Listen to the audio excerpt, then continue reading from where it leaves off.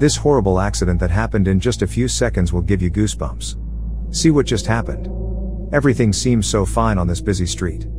Meanwhile, a driver lost control of his car and comes at the speed of the wind. It comes so fast that it blows up three cars in quick succession until it overturned and stopped. Otherwise, she would have blown up many cars.